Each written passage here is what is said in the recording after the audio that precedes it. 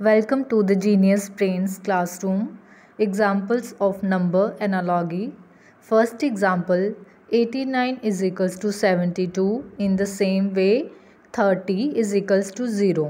इस एग्ज़ाम्पल में 8 को 9 के साथ मल्टीप्लाई करो तो आंसर आता है 72. सिमिलरली 3 को अगर हम 0 के साथ मल्टीप्लाई करते हैं तो आंसर आएगा 0.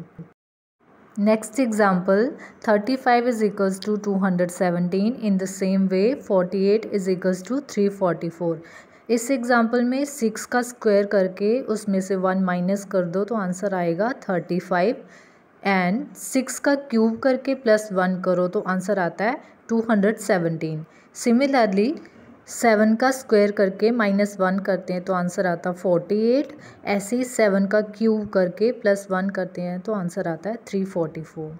Next example, twenty four is equals to thirty six in the same way, forty four is equals to sixty four. इस एग्ज़ाम्पल में टू में अगर हम फोर को प्लस करते हैं तो सिक्स आएगा। सिक्स का स्क्वायर अगर करो तो आंसर आता है thirty six.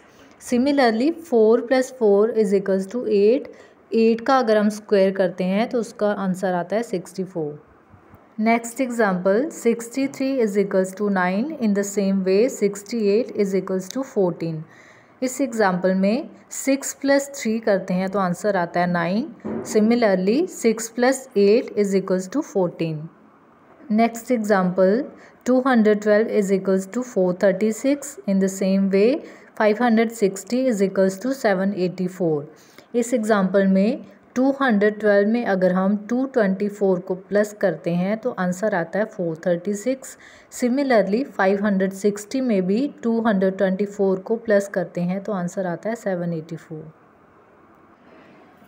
next example 625 is equals to 25 in the same way 196 is equals to 14 इसमें अगर सिक्स ट्वेंटी फाइव का अंडर रूट हम देखते हैं तो वो आता है twenty five.